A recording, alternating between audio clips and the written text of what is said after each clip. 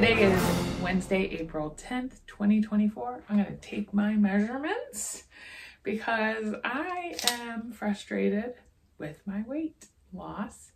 And so, because I also work out and do some strength training, I'm thinking that maybe I'm not losing weight because I'm gaining muscle.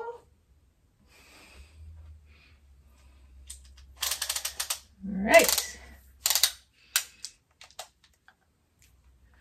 All right, so this thigh is 29 inches.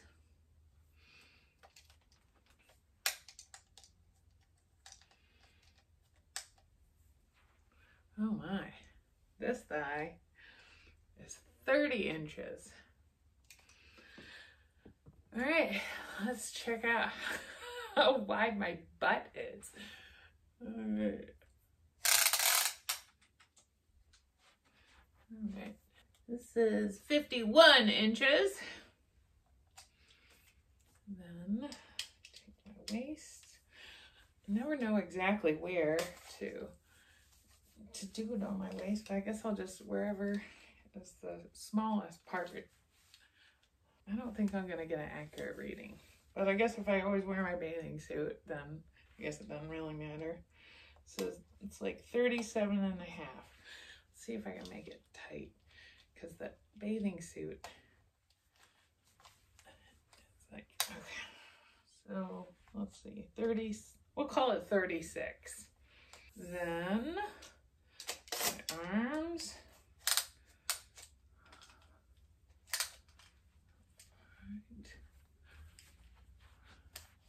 Okay, well that's not straight, is it? That looks pretty good. That is 14 and a quarter. Oh my, Band-Aid. All right, that is a little over 14.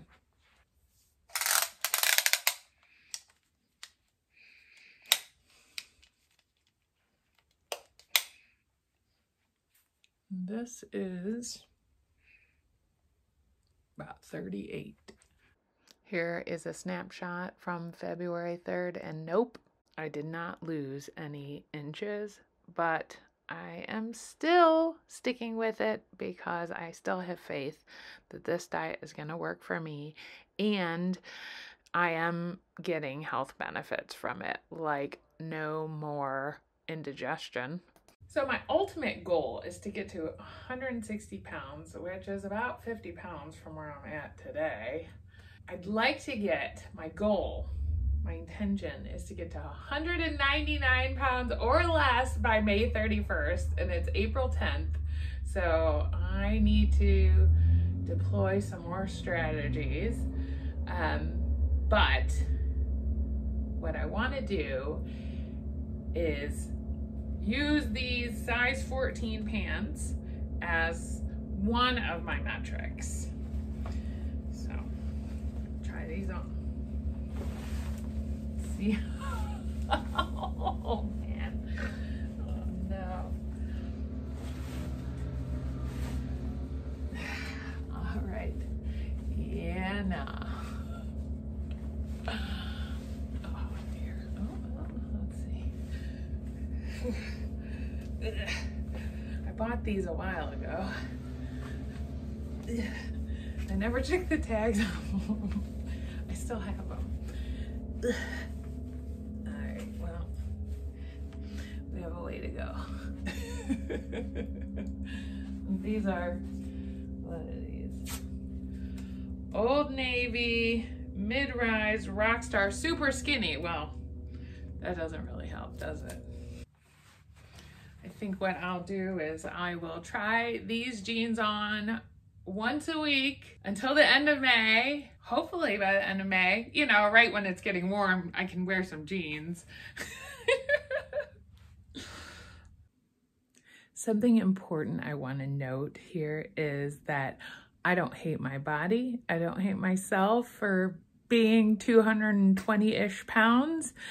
Um, I know how I got there and I am loving myself on my way to get back down to 160 pounds because I've been there several times before in my life and it just didn't stay important to me to do what was necessary to stay at 160 pounds.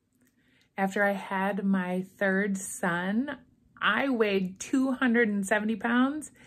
And over the course of, I think it was like a year, I lost a hundred pounds. So I know I can do it again and I don't have to lose a hundred pounds this time. So it's a matter of finding out what works for me, what I can find to be sustainable and enjoyable for me.